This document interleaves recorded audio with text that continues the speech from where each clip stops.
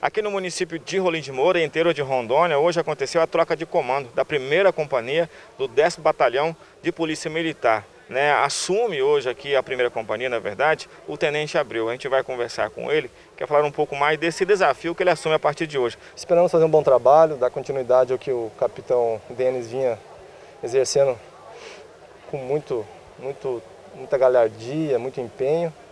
Esperamos dar o melhor e só quem tem só a ganhar com isso é a, a comunidade e a Polícia Militar. O senhor é aqui do município de Rolim de Moura mesmo. O senhor então é, é, tem acompanhado de perto a situação do município. Nos últimos dias a população tem cobrado bastante da Polícia Militar. Isso também acaba sendo um desafio maior. Moro em Rolim de Moura tem, já tem três anos e a gente sabe das dificuldades, dos problemas. Não são poucos, mas só mediante muito trabalho, muito empenho, é, colaboração da comunidade, do, de, dos demais órgãos, com certeza a gente vai conseguir, talvez não, não extinguir a criminalidade, mas diminuir bem e que a sociedade possa viver em paz. A primeira companhia é, ela é responsável pelo policiamento ostensivo em toda a sub-área, não é só Rolim de Moura.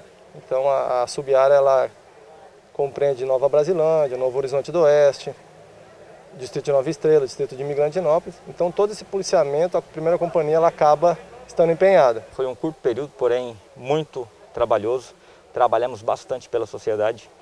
É, os policiais militares de Rolim de Moura são policiais excepcionais e a sociedade rolim-morense está bem servida. É, vou para Alta Floresta, que é, na carreira do oficial nós temos essas transferências. Fui requisitado para trabalhar em Alta Floresta, então lá estarei prestando também um excelente serviço, assim como nós prestamos aqui no município de Rolim de Moura. Eu estou indo para Alta Floresta, serei o comandante daquela companhia. Companhia do 10º Batalhão é uma companhia destacada, é uma responsabilidade tão grande quanto, porém, nós mais uma vez exerceremos um bom trabalho naquele local.